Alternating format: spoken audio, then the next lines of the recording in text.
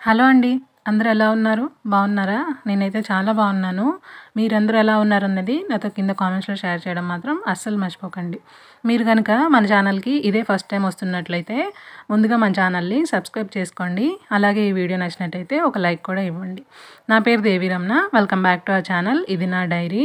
ఇది వచ్చేసి మార్నింగ్ రొటీనా మార్నింగ్ లేవగానే బ్రష్ చేసిన వెంటనే ముగ్గు అయితే పెట్టుకుంటూ ఉంటానన్నమాట చాలా రోజుల తర్వాత ముగ్గు పిండితో వేస్తున్నాను. చాలా మంచిగా అనిపించింది. ముగ్గు పిండి అంటే ఇక్కడ ముగ్గు పిండి అంటూ ఏమీ దొరకదు విడిగా. మనకి బియ్యం పిండినే నేను ఆడించుకొని దాచుకుంటా ఉంటానన్నమాట అది అయిపోయింది రీసెంట్ డేస్‌గా. సో, అది చాలా రోజుల నుంచి ఆడిద్దాం అనుకుంటున్నాను. అలా పోస్ట్‌పోన్ అయిపోయింది. ఇంకా ఆడించలేదనమాట. ఇంకా చాలా రోజుల తర్వాత ఈరోజైతే ఇలా బియ్యం పిండితో ముగ్గు పెట్టడం చాలా హ్యాపీగా అనిపించింది. నాకు పిండితోనే ముగ్గు వేయగలను. మామూలుగా శుద్ధరాయితో అలాగే చాక్ పీస్‌తో వేస్తాం కదా! నాకు ఎందుకో తెలియదు ఆ ముగ్గు అంతగా నచ్చదు. ముగ్గు పిండితో లేదా ఇలా బియ్యపు పిండితో ముగ్గు వేస్తే చాలా అందంగా కనిపిస్తుంది.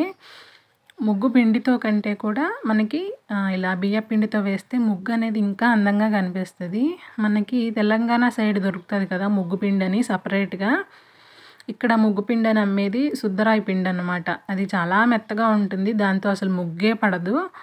అందుకని నాకు ఇక్కడ పిండి కొనడం నచ్చదనమాట. ముగ్గు పిండి కొనడం ఇంకా నచ్చదు. ఇంకా వేరే రకమైతే కొంటా ఉంటారు. గ్యాస్ గ్యాస్ ముగ్గు పిండి అని చెప్పేసి అదైతే ఇంకా ఎక్కువ రేటు ఉంటుందన్నమాట దాని బదులు బియ్య పిండి బెస్ట్ అని చెప్పేసి కడిగేసి నానబెట్టి ఎండబెట్టేసిన తర్వాత మిల్లికి వెళ్ళేసి ఒకటేసారి ఒక ఐదు ఆరు కేజీలు అయితే ఆడించుకొని దాచుకుంటా ఉంటానన్నమాట ఇంకా మెలికల ముగ్గులంటే నాకు చాలా ఇష్టము. అంతకుముందు ఏమీ వచ్చేవి కాదు. ఈ మధ్య ఈ మధ్య అన్నీ నేర్చుకుంటా ఉన్నాను అనమాట బియ్యపిండితో మెలికల ముగ్గు వేసినప్పుడు వాకిల్లో చాలా అందంగా ఉంటుంది. అటు ఇటు తిరిగినప్పుడు ఎన్నిసార్లు చూసుకుంటానో బయటికి వెళ్ళి ఆ ముగ్గుని. ఇలా కొద్దిగా ఆరిన తర్వాత వేసుకుంటే బియ్యపిండి ముగ్గు అనేది బాగా వస్తుందనమాట. తడి మీద వేస్తే ఆ ముగ్గు అనేది వెళ్ళిపోతుంది అందుకని కొద్దిగా ఆరిన తర్వాత మాత్రమే వేస్తూ ఉంటాను. ఇంకా ఇది వచ్చేసి ఆరు చుక్కలు పెట్టుకున్నాను. రెండు వచ్చే వరకు పెట్టుకున్నాను అనమాట చాలా ఈజీగా ఉంటుంది. మీరు ఒకసారి చూసి ట్రై చేస్తే వచ్చేస్తుంది అనమాట చూడడానికి కష్టంగా అనిపిస్తుంది కానీ ఒక్కసారి పేపర్ మీద ట్రై చేసి చూడండి. చాలా ఈజీగా వచ్చేస్తుంది వాకిలిలో ఎప్పుడు కూడా నాకు మెలికల ముగ్గులే ఇష్టం. డిజైనర్ ముగ్గులు అంతగా వేయలేను. నా చెయ్యి తిరగదు. అదే కాక ఇష్టం కూడా ఉండదనమాట. అందుకే ఎప్పుడూ ట్రై చేయలేదు. ఇంకా మన ముగ్గు వచ్చేసి అయితే ఇలా ఉంటుంది. ఈరోజు ఇడ్లీ పిండితోని అట్టు వేశాను. బాగా త్రీ డేస్ అయిపోయిందిలేండి టూ డేస్ వరకు ఇడ్లీ మెత్తగా వస్తుంది థర్డ్ డే నుంచి గట్టిగా అయిపోతుంది ఎందుకంటే నేను మిక్సీలో వేసుకుంటాను కదా! అందుకని చెప్పేసి విన్నాను అనమాట గ్రైండర్‌లో వేసుకుంటే పిండి లాస్ట్ వరకు మెత్తగా వస్తుందని సో, అది ఎంతవరకు నిజమనేది నాకైతే తెలియదు. కానీ నేనైతే మిక్సీలో వేసుకోవడం వల్లే ఇలా గట్టిగా అయిపోద్ది థర్డ్ డేకి అనుకుంటున్నాను. అందుకే మ్యాక్సిమం థర్డ్ డేకి ఇలా అట్లయితే వేసేస్తాను. ఇంకా పెనమైతే చాలా పాడైపోయింది. కొత్తది తొందరగా తీసుకోవాలి. ఎప్పుడు తీసుకుందాం అనుకున్నా మర్చిపోవడం, లేకపోతే ఆ మంత్‌కి బడ్జెట్ లేకపోవడం ఏదో ఒకటి అవుతూ ఉంటుందన్నమాట సరే ఒక్కసారికి ఈ పాన్ అయితే ఉంది నా దగ్గర. ఇది నాన్ స్టిక్కే అనమాట. తీసుకొని సెవెన్ ఇయర్స్ నేను తీసుకోలేదు. అమ్మ వాళ్ళు పెడతారు కదా మనకి పెళ్ళైన కొత్తలో. పెట్టిన దాంట్లో పాన్ అనమాట ఇది. ఇదొకటే నేను జాగ్రత్తగా కాపాడుకుంటూ వచ్చాను నాన్ స్టిక్ పోకుండా. అంటే ఈ పాన్ నా చేతిలో ఒక్కటే నేను ఒక్కదాన్నే వాడతాను. మిగతాయన్నీ కూడా ఇంటికి చుట్టాలు వచ్చినప్పుడు వాళ్ళు వీళ్ళు వాడుతూ ఉంటే మనం వాళ్ళకి చెప్పలేం కదా! దగ్గరుండి ఇలా కాదు, అలా కాదు అని చెప్పేసి. సో, అలా పాడైపోయేవి. నాన్ స్టిక్ చాలా జాగ్రత్తగా వాడాలి. ఏది పడితే అది ఎలా పడితే అలా వాడకూడదు కదా! సో, అందుకని ఆ ప్యాన్ ఇంకా కడాయి రెండు కూడా పాడైపోయాయి కానీ పాన్ అంటే దోస పాన్.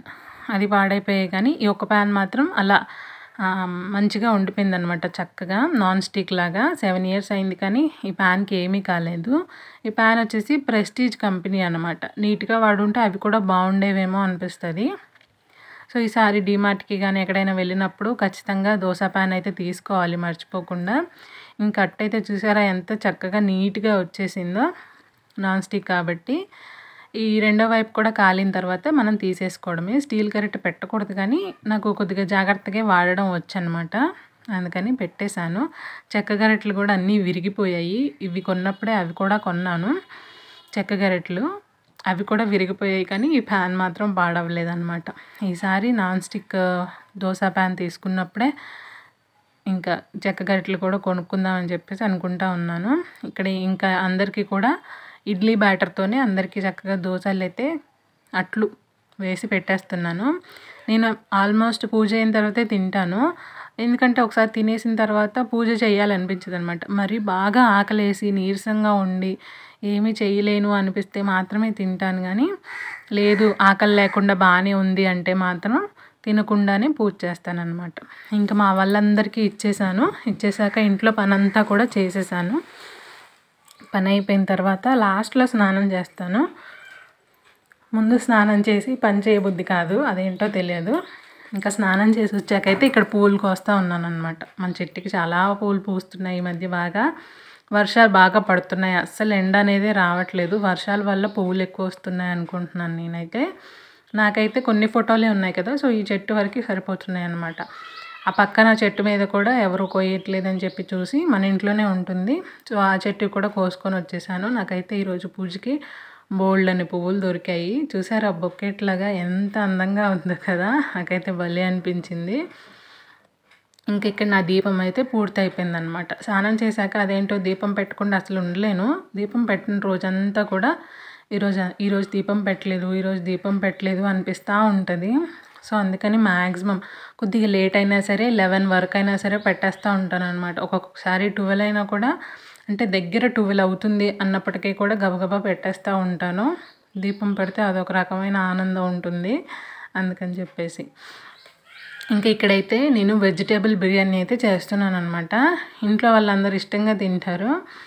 పిల్లలకి కూడా బాగా ఇష్టం. మా సార్కి కూడా ఆయన కూడా బాగా ఇష్టంగా తింటారనమాట చికెన్ బిర్యానీ కంటే వెజిటేబుల్ బిర్యానీ బాగా ఇష్టంగా తింటారు.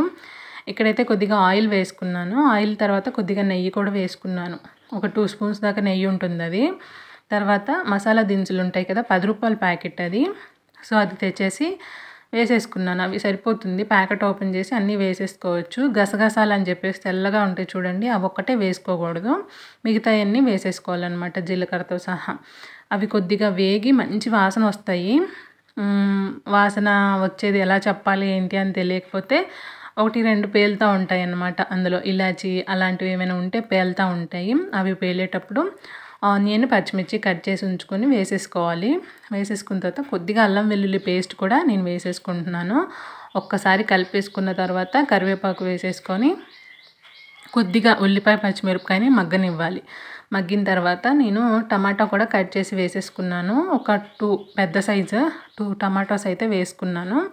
వెజిటేబుల్ బిర్యానీలో టమాటా ఉంటేనే బాగుంటుంది అనిపిస్తుంది నాకు. టమాటా కూడా మనకి మెత్తగా మగ్గిపోయేదాకా మనం మగ్గించుకోవాలన్నమాట. ఇంక ఇక్కడ బాగా గాలి ఎక్కువగా వస్తుందని చెప్పేసి తలుపేసేసి అయితే లైట్ వేసాను అందుకే కొద్దిగా కలర్ అయితే చేంజ్ అయినట్టు అనిపించింది మీకు అంతే.